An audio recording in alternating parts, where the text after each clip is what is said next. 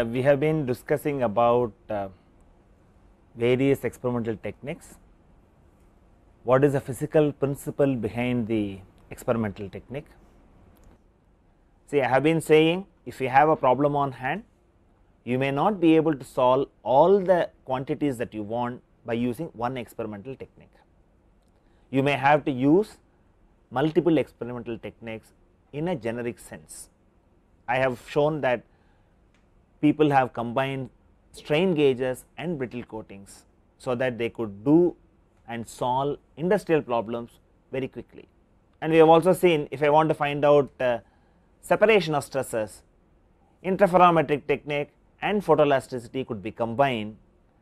On the other hand, people also thought of recording this information simultaneously, such equipments also have come. One is use and perform experiments separately, then process the information. And once you decide that these are the two information I want, people also devise new equipments wherein they could either simultaneously record or record one after another with the same optical arrangement with, with modification of what you want to insert. Such a development has also been seen in combining method of caustics and coherent gradient sensor. So, such information available in the literature and now what we move on to do this is but let us have a very interesting discussion on naming of experimental methods. You may wonder name can signify many things. You know if you look at the, the development of languages, if you look at uh, Sanskrit, even for nouns they find out a root and then they explain because of such and such reason, reason this is named like this. And it is a very well uh, developed and scientifically it has a grammar which is scientifically uh, proven and people find it easy for implementation in the computer. In fact, for natural language processing Sanskrit grammar is so convenient you can translate from one Indian language to another language the intermediary is Sanskrit and then go to it. And if you look at you know because we are looking at naming of experimental technique let us also look at what way names are given in Sanskrit. I will give you one example in Sanskrit the sabda is very important and the phonetic rendition of the word has some idea of what the word connotes. And if you want to uh, talk about the tooth, the Sanskrit name for this dantam and you will be surprised if you do not have a tooth you cannot pronounce it. It is very interesting. You know the, San, the why you say Sanskrit is so perfect I am not getting into you know language division and things like that. When there is a positive and scientific aspect attached to a particular language as scientists we should recognize uh, that merit. And it is so interesting. It is dantam you call it. I can call the tooth by uh, several different uh, uh, names and the phonetic rendition has a link to the meaning or what it connotes. So, if you are uh, not having an understanding then you can find out and think about it and go to the root and find out what the meaning is. So, it is not arbitrarily named. So, dantam you pronounce it you need tooth for it and it is the tooth it indicates. Now, let us look at have we named our experimental technique scientifically. Okay. And if you look at one of the first uh, technique was photoelasticity and uh, there is a discussion you know there is no unique approach to name an experimental method and if you look at 1930s one of the earliest optical methods that came into existence was photoelasticity. Why call it as photoelasticity? People have used optical methods to reveal the stresses.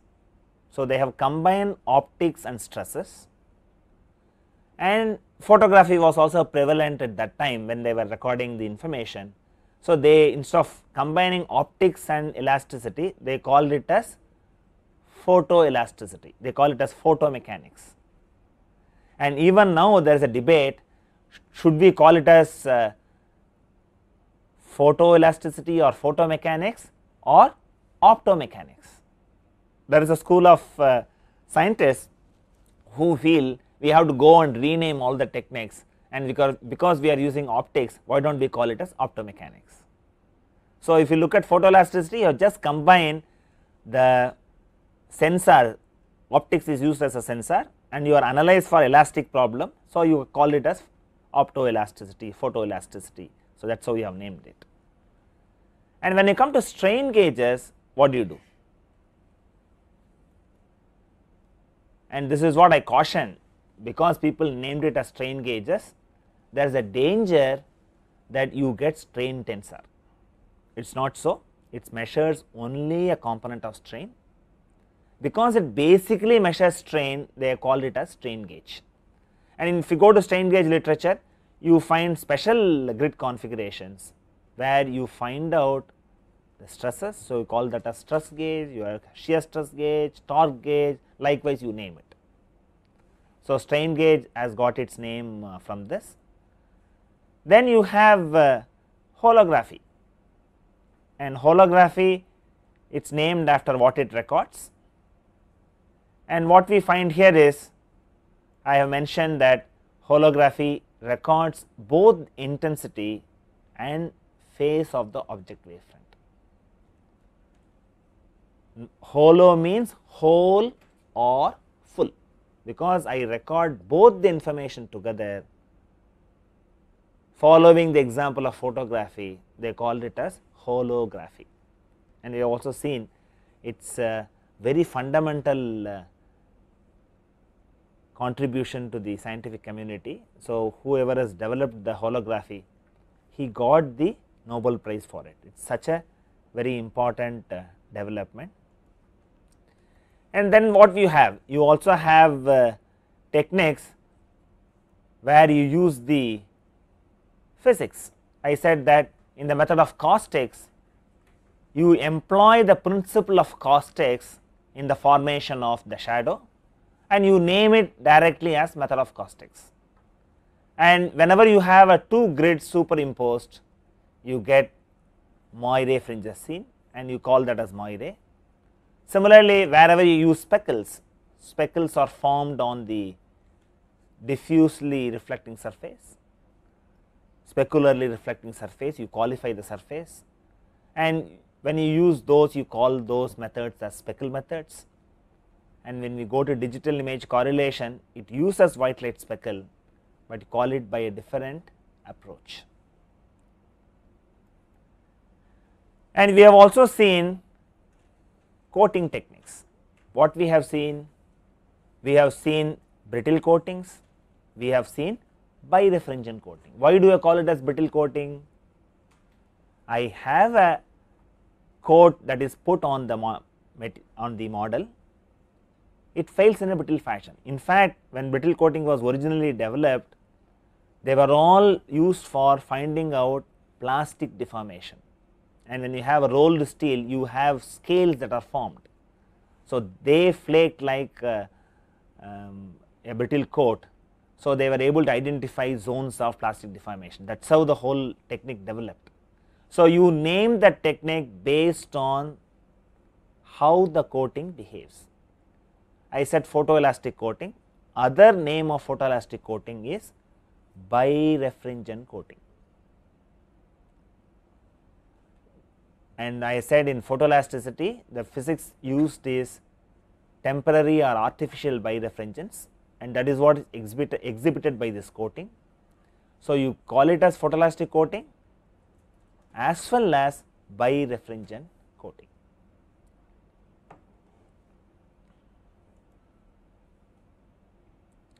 And we have also have another technique thermoelastic stress analysis and I cautioned you again and again do not misconstrue that this technique can measure stresses due to thermoelasticity. It is not so. The physical principle used employs measurement of temperature which is very very small and you call this as a thermoelastic stress analysis.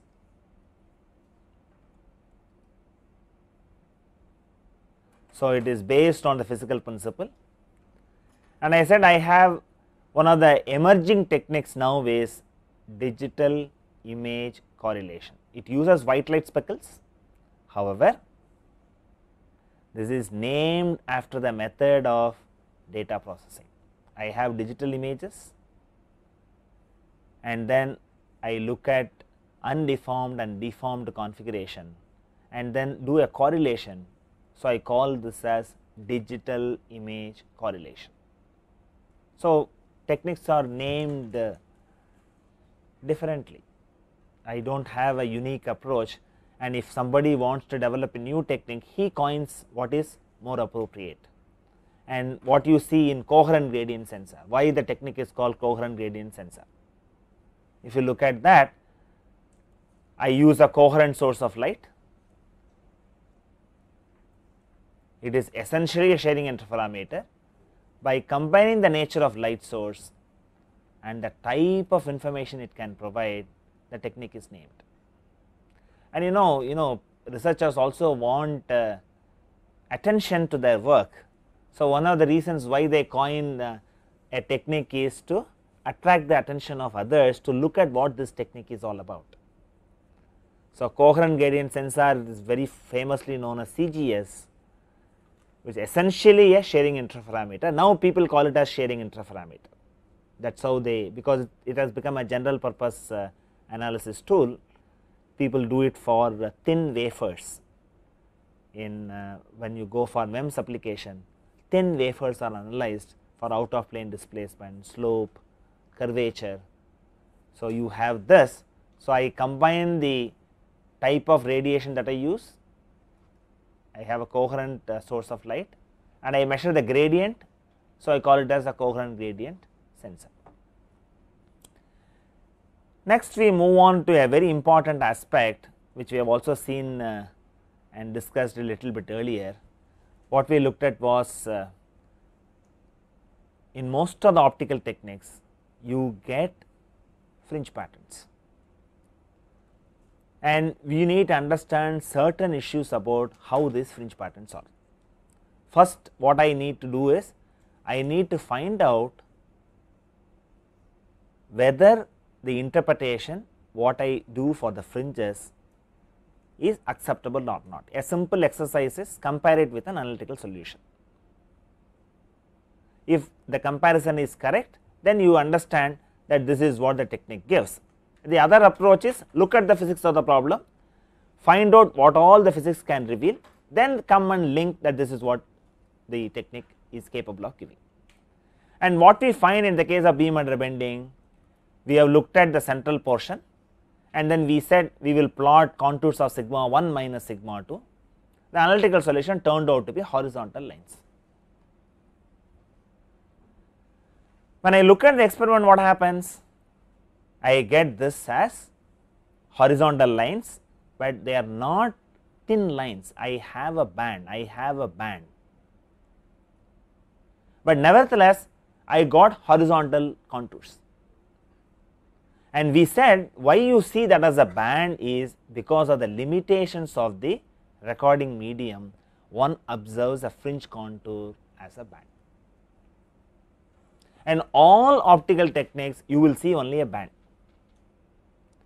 And one of the most challenging and difficult aspect for any experimental analysis is how to go and number these fringes, because I need to know the fringe order then I need to use the appropriate equation and find out what is it that I will have to interpret on. And what do you find here instead of a monochromatic light source, if I view these patterns in a white light source, I get not black and white contours, but contours with color, contours with distinctive color. And this is the specific advantage of photoelasticity. So, what I could do is by knowing the color, it is possible for you to find out the fringe order it is also easy for you to identify how the gradient information changes, how the gradient information changes whether it is uh, increasing in this direction or decreasing in this direction you can find out whether the color is color sequence is repeating in a particular fashion. Whether the color sequence repeats in a particular fashion then you can identify positive gradient and negative gradient all that you can find out.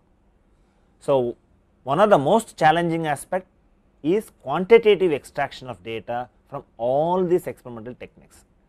But the focus of our attention now is to find out richness of qualitative information that you could get from fringe patterns, because this gives you a sense of comfort in looking at and interpreting the fringe patterns. Let us look at what we have seen is fringe is a band, we have seen it and mere record of the fringe patterns itself can provide useful qualitative information. So, we have to look at what all the qualitative information that you could identify. One of the things what you could see is I get it as a band and if you look the fringe patterns closely are the bands of uniform thickness. The thickness of the band is inversely related to the gradient or the variable it represents. So, that we will see, we will see I have a fringe pattern from uh, photoelasticity because photoelasticity has information in color a colored uh, fringe pattern is taken and I also have a fringe pattern in uh, Moire and what we will have is we will have a closer look at how the fringe thickness varies. And this just shows that for you to draw your attention you have these fringe patterns drawn earlier. Go back and then look at that fringe contour is not of same thickness the thickness changes. And that is what is tried to be shown in this slide. And you have a very broad fringe here. And let me repeat I have very sharp fringes here and the same fringe becomes increasing in thickness. So, essentially what you find is that fringe band is not of constant thickness and I mentioned in one of the classes you have this uh, fringe plotting by a software when you have to go and mimic what is the way to get the fringe band one of the information you use it variation in the variable even if you give a constant variation in the variable because the gradient changes automatically the thickness of the fringes changes when the gradient is small fringe is very broad when the gradient is very high fringe is very sharp. So, I can find out by looking at the fringe patterns whether the gradient of the information is high or low. I can find out from the thickness and this is not a property of photoelastic fringes. You see a similar one even in Moire. I go to Moire and then look at it, you see this very sharp thickness increases, thickness increases and that is how you find and same fringe has thick and thin. It is thinner here, it is thicker at the corner and this becomes much thicker. So, when you look at the fringe pattern observe for all these indirect information. The fringe pattern speaks to you this is how the distribution is. So, take note of it suppose I have fringes closely packed then I would say that this is the zone of high stress concentration. Later on I can go and do a technique do a quantitative processing and try to get the actual data that is a different issue. But the moment you look at a fringe pattern you should react to it, you should know that this is stress concentration uh, region and this is the region where I can scoop out material. I need to get that kind of information and you get that by looking at the thickness of the band as simple as that. So, this is one of the qualitative information you get then what is the other information that you can think of?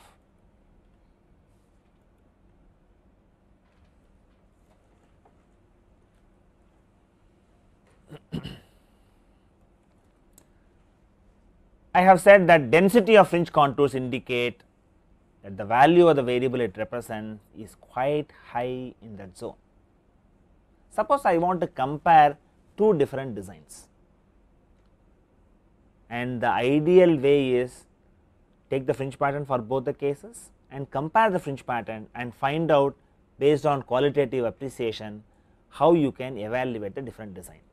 So, it is used as an optical comparator and one simple example is given and what you find here is I have a example of two different type of spanners and in one case I have given this as a streamline fillet. Let us understand what is the uh, idea here and you all have uh, you are all mechanical engineers. So, you know how a fillet is made. How a fillet is made? Suppose I go to any machining process, it is easier to make a circular fillet. Because the machining operation is simple I can go and make a circular fillet.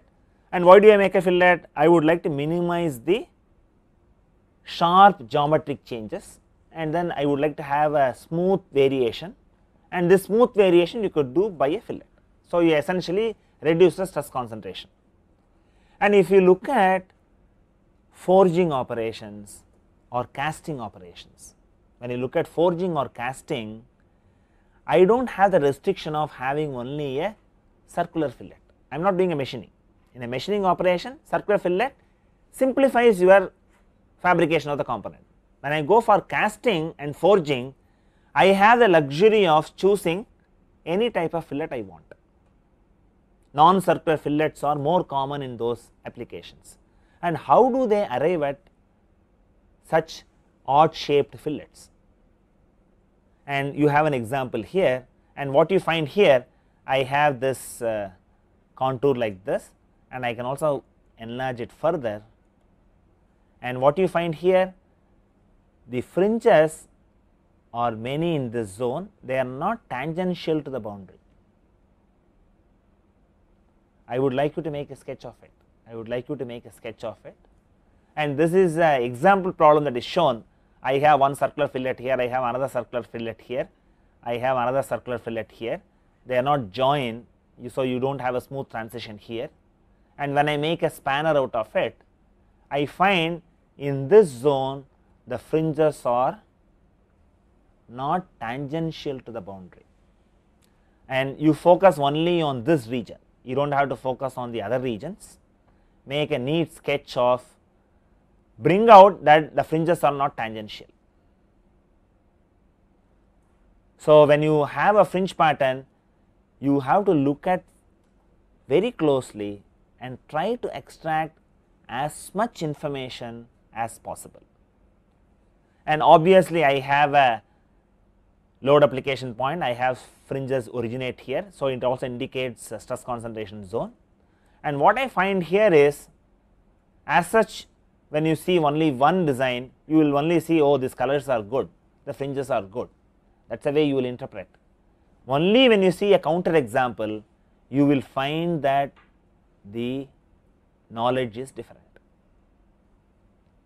Now what I will do is I will go and show the other one then come back to this okay so that you will know what is the difference. Now I take this example and what I find here the contour is the fillet is smooth, it is non-circular here and you find more or less these fringes are tangential to the boundary, it merges with the boundary, it merges with the boundary of this. And these are called streamline fillets. So, only when you see the difference you will know what is advantage. And they are very strong, they are very strong you need to concentrate only on the do not worry about the nut. You concentrate only on this region where I am showing the arrow. You need to worry about the fringes. You find the fringes are parallel to the boundary. By and large some small aberration is there here. But compared to the earlier one here the fringes are lot more smoother and parallel to the boundary. And in fact, when people design some of those castings and forgings, they take a photoelastic model which is uh, uh, slightly large in shape and then keep on shaving the material until for the given loading you get the fringe tangential to the boundary. In fact, there is a famous book uh, by Heywood designing by photoelasticity where he talks about how to get a streamline fillet and when you get a streamline fillet the component will have very high strength, nothing happens to the component and I can afford to have a streamline fillet which is not always circular in a forging and casting there is no problem. And you know these uh, spanners are done by forging. So, I can afford to have a non-circular fillet and take advantage of our understanding of stress distribution. So, let us see these fringe pattern one after another. I see this as tangential to the boundary and I go back and then uh, show the other one. You will find that this is different. And this is a fictitious example. You know you do not have a spanner uh, like this. This is done to illustrate. I have a combination of circular fillets here. So, when I do is I have a lot of deviation from this. And this is not strong. You can have failure initiated in this and in service it can fail. So, what you do is I do not do a quantitative analysis even a simple qualitative exercise can help you to improve your design. So, this is another aspect of richness of qualitative information. Okay. In a production line, you know, I have a I like to inspect whether my component is being manufactured correctly or not. I can have a optical comparator. And what we are going to look at is insertion of a bush in a circular hole. This is what we are going to look at as an example. So, what we are going to look at is how fringe patterns helps you to check the quality of the finished product. What I am going to do in a quality checking uh, mode, I will accept or reject based on some evaluation of fringe patterns. And I have a example here, I have one example where I have a perfectly circular uh, bush inserted in an annular plate and you all know Lamé's problem you need to get concentric fringes I do get concentric fringes. And this is not what happens in an actual production line. An actual production line if you do not maintain the cylindricity of the bush you can have surprises like this. And what I see here I see extra flowery pattern and let us look at little more closely here. So, what I have here is I have bush is cylindrical you can go and accept the component and while you sketch it what you do is you do not have to draw all these fringes you say essentially they are concentric. And when I have a non circular bush which has undulations which are not visible to the naked eye, but when I insert I get this flowery patterns on the inner boundary. I have inserted a bush in a circular hole, it should behave like a Lamé's problem, concentric circles I should get, but instead what I get is I get fringe pattern like this and in this case the deviation is quite obvious it is very striking the fringe pattern what I find is very striking I can quickly say something has gone wrong. If the variations are very subtle then I cannot make a judgment. In fact, one of the most difficult thing is if you have a member and stretch it. Invariably if the mem member is not stretched correctly you will always have some amount of bending and if you take a specimen which can respond optically any small misalignment will show up in the optical fringe pattern. So, experiments simple experiments are really very difficult to conduct even a simple tension. So, one of the ideas what they suggest is if you have a situation where you need to verify the alignment go for optical techniques and improve your alignment based on that. So, opt optical elements are very good, they are very sensitive to any one of this loading peculiarities. And what we see here, you have concentric fringes and you have the fringes which are coming as a flower. And that is what you have. I want you to make a reasonable sketch to bring out these difference that is the idea. You have a flowery pattern and you have a concentric circle and that gives you an idea that something has gone wrong and you can take corrective action. You can go and modify your production line, inspect the how the product is made, go and improve the process parameters. So, you can take some kind of corrective action. So, now you realize that by looking at mere fringe patterns, we have extracted quite a bit of data. We can find out stress concentration zone, we can compare different designs, we can also accept or reject a component based on some of this information. So, that is quite useful I mean we have been able to take note of this. And another advantage what you have is I have a defect here what I have is I have a plate with a hole and I have a coating put on this and you know here I have taken example. So, I know that there is a hole present and now I am interpreting that you have a hole that is seen in the fringe pattern. In fact, to find out internal flaws people have attempted putting a photoelastic coating and when the model is loaded the fringe signature can identify presence of flaws in the member. So, this is another approach people have used it and identifying a flaw in a structure is a very challenging aspect. And what is the difference between an ultrasonic technique? In an ultrasonic technique even benign flaws will be detected because it will only look at material separation. On the other hand if I have a technique where the model is loaded those flaws which are sensitive which can pose problem to you only those will be revealed see collecting lot of information is not necessary, you need pertinent information for a given problem.